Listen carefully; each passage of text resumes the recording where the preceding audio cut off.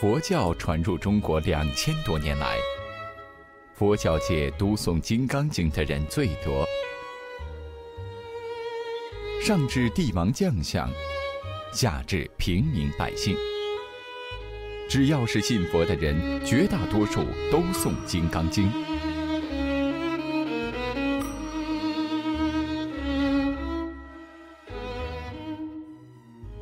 那么，如何修持《金刚经》呢？下面，仁达法师将与大家一起分享。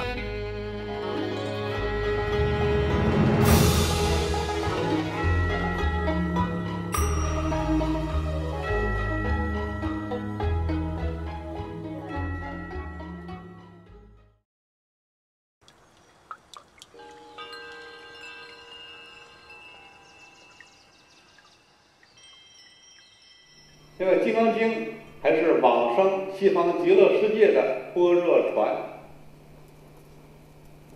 佛说《阿弥陀经》里面讲到，不可以少善根福德因缘得生彼国，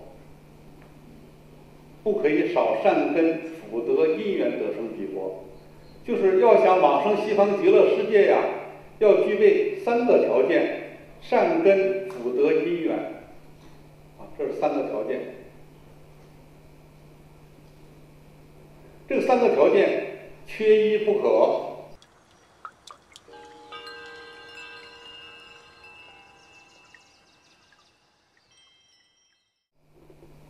那么诵《金刚经》呢，可以说是善根深厚。《金刚经》里面讲到：如来灭后后五百岁，有持戒修福者，于此章句能生信心。以此为实，当知世人不于一佛、二佛、三思五佛而种善根，以于无量千万佛所种诸善根。也就是说，受持《金刚经》的人善根太大了。无始劫以来，不是于一佛、二佛、三思五佛而种善根，而是于无量千万亿佛种诸善根的。那么这种福德多大了？太大太大了，算术比喻都计算不出来的，无法比喻的。第二个呢，诵《金刚经》，它福德殊胜。《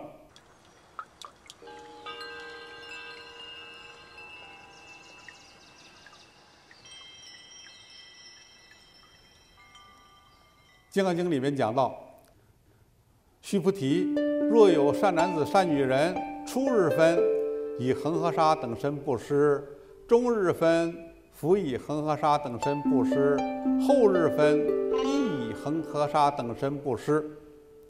入世无量百千万亿劫以身布施。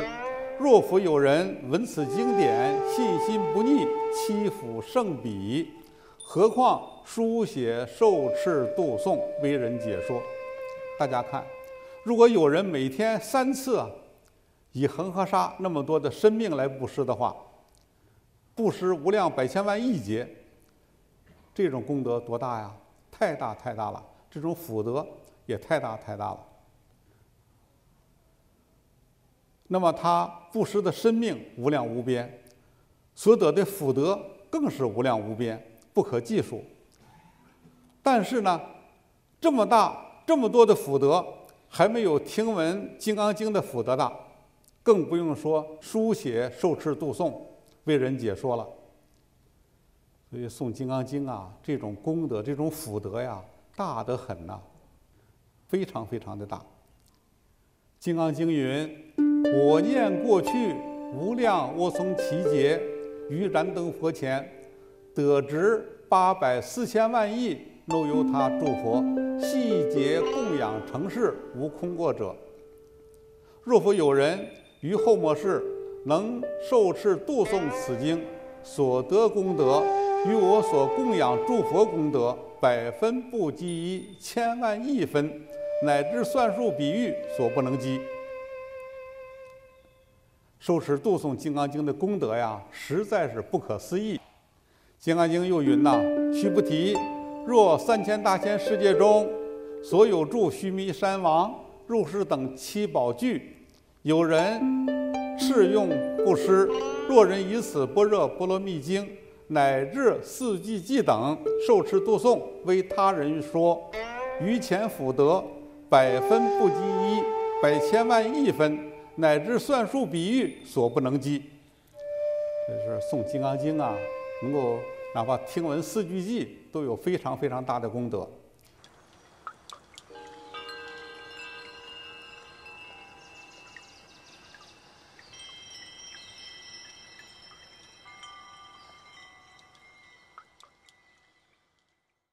在宋朝的时候啊，苏州有一个姓朱的进士。进士啊，他有一天呢，到虎丘去游玩，听见佛印禅师正在给大家讲《金刚经》。佛印法师讲到：“一切有为法，入梦幻泡影，入路亦入电，应作入世观。”这个四句偈的时候。这个朱进士啊，心里头非常的高兴，他就想着回家呀，好好读一读《金刚经》，研究研究《金刚经》它的义理和要义。因为朱进士他是很有学问的人嘛。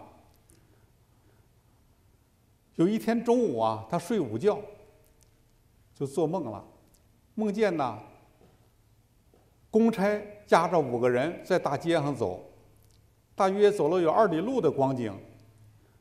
拐到一个胡同里边，再往里走，看见有一家门上挂着个蓝布门帘儿。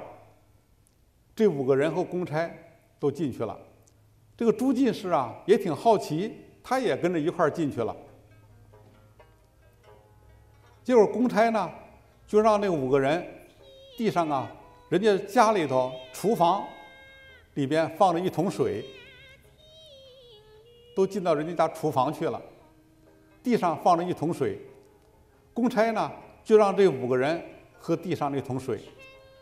五个人喝完水之后，这个朱进士也想喝水，公差就大喝一声：“听闻过《金刚经》的人不许喝水。”哇！他这一听这一说，朱进士醒了，原来是个梦。梦醒之后啊，因为进士嘛。他就悠哉悠哉出去散散步，看看，走到大街上溜达溜达。结果走一到大街上一走啊，跟他梦中的情景一模一样。他就很好奇，接着跟他梦境的情景啊，根据根据他梦中的这种情景，他继续往前走，也像他梦中一样往前走，到了一个小巷，转过进，进了一个小巷。又往前走呢，果然见到这家门口还挂着蓝布门帘，跟他梦中情景是一样的。他就撩起帘子来进去了，因为他是进士啊，比较有名望的人，大家都认识他。那家主人呢，就问：“哇，进士大人真是稀客呀！你到我家来有何贵干呐？有什么事啊？”朱进士就问了，他说：“今天中午你们家里头。”厨房里头发生过什么事儿啊？那个屋主人就说：“哇，进士啊，你真是神人呐！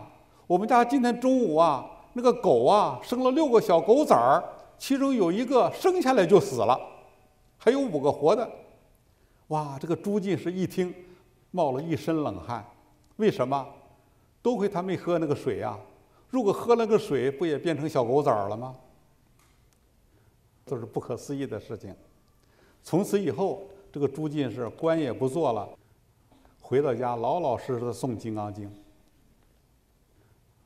发愿往生。这是在宋朝发生的事情。专门诵持《金刚经》，说明诵持《金刚经》啊是非常的好，非常的殊胜，因为他只是听了一句四句偈，都有这么大的殊胜的事情。不然的话，那就堕成畜道了。变成狗崽了，很危险的事情。朱进士仅听闻了《金刚经》四句偈，就免遭一场做狗仔的灾难，可见《金刚经》多么的殊胜。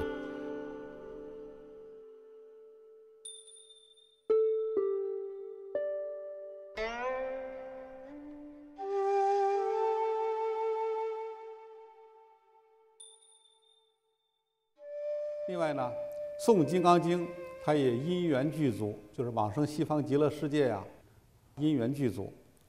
坚持诵《金刚经》，回向发愿往生西方极乐世界，是因阿弥陀佛、观世音菩萨、大势至菩萨、西方极乐世界诸圣众，他们来接引，这是缘。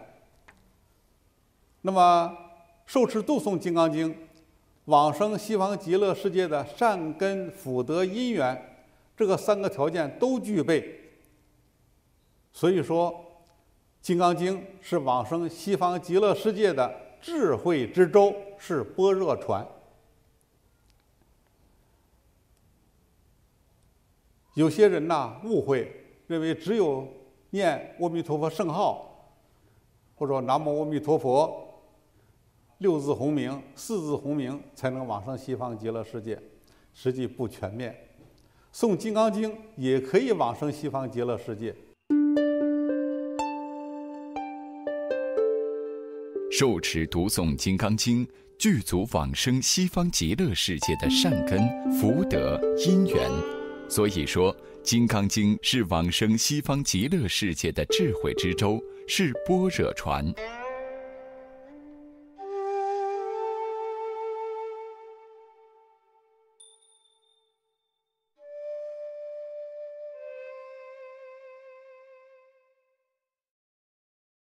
时间不是很久以前，这个美国的行业巨子沈家珍博士，他们生意做得很大呀，叫船王啊。沈家珍博士，他的太太叫居和如。居和如一生持诵《金刚经》，非常虔诚，非常认真，也是每天不落的，都要念《金刚经》。后来居和如啊，年纪大了以后得了骨癌。大家知道，这骨癌啊是非常痛苦的一种病，在骨头里长癌症，非常痛苦。但是居和如呢，因为他持诵《金刚经》，并不感到怎么痛苦。在他临命终那几天，连镇痛药都不需要吃了，不感到疼痛。居和如往生之后啊，过了几天。沈家珍博士亲自给居和如换衣服，在穿衣服的时候，居和如就像睡着了一样，胳膊和腿呀都非常的柔软，一点都不僵硬，而且面目也不是那种惨白，就像一个人睡着了一样那么安详。证明居和如是往生西方极乐世界了。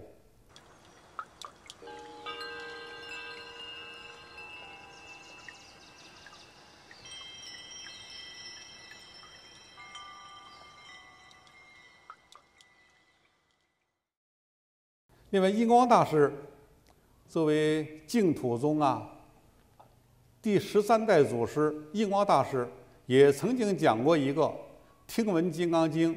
自在往生的事例。印光大师讲啊，他说安徽的桐城有个叫马通白的居士，在民国时期呀，是文学大家，著述甚丰。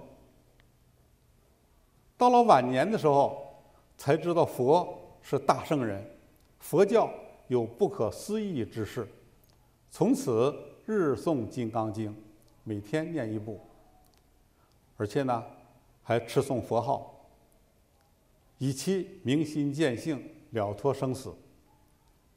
马通白的三女儿叫马君干，很聪明，有文采，但是马君干呢，不信佛。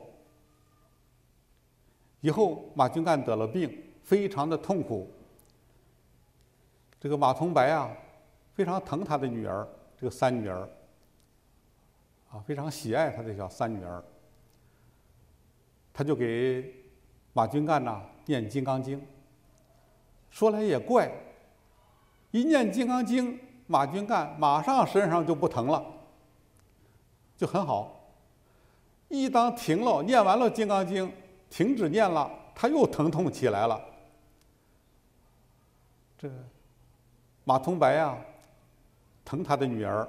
就彻夜的给他女儿念《金刚经》，日以继夜，夜以继继日，不停的念《金刚经》，因为念《金刚经》，他女儿就不疼了嘛，不疼痛了嘛。有一天呢，马君干忽然坐起来，从床上告诉他父亲可以停止念《金刚经》了，不用念了。他说：“我好了，像好人一样。”他告诉他父亲，他与《金刚经》所说的道理细节悟道，实际上他开悟了，都知道了，都明白了。他想着现大人相，说无生法，说无生法就是修行的法门呐，出世的法门呐，叫无生法。希望一切见闻《金刚经》的人都能够。种上善根，而且他谎称啊，他说现在家里头啊，他们在北京啊租的房子住，比较狭窄。他说这个房子啊太小了，我住着不舒服。最好啊，给我找一个好医院，比较舒适宽敞的地方，让我去疗养。因为马同白疼他女儿啊，还有马军干的丈夫啊，也很好。就给在北京的德国医院租了一间房子，啊，环境很好，很优雅，也很舒适。让马君干呢到德国医院去疗养。都安顿下来以后，马君干就跟他的父亲和丈夫讲，还有护士，他说：“你们都出去吧，我累了，想休息休息。”结果大家对他很尊重啊，都退出去吧。让他自己休息休息吧。结果呢，这个马君干呢，坐在那里，双手合十，往生了。这是印光大师亲口讲过的一个故事，就说明这个马君干呐，他听闻《金刚经》，能够开悟，能够往生西方极乐世界，这是不可思议的事情。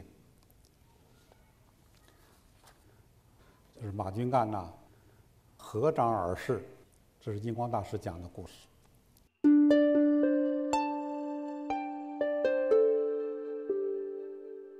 诵持《金刚经》往生西方极乐世界的实例很多，往生时瑞相频出，不可思议。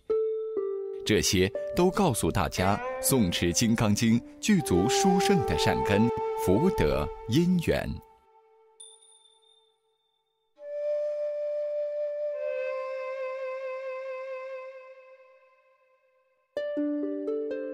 既然《金刚经》如此殊胜，该如何受持呢？且看下集《诵阅参契金刚经》。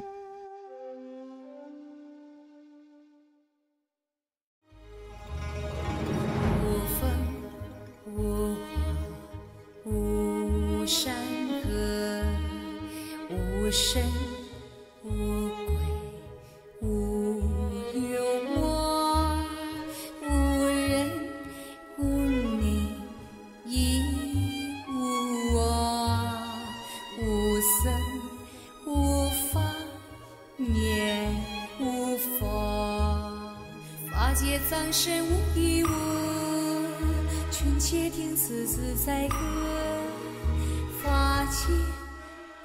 身，无依无求。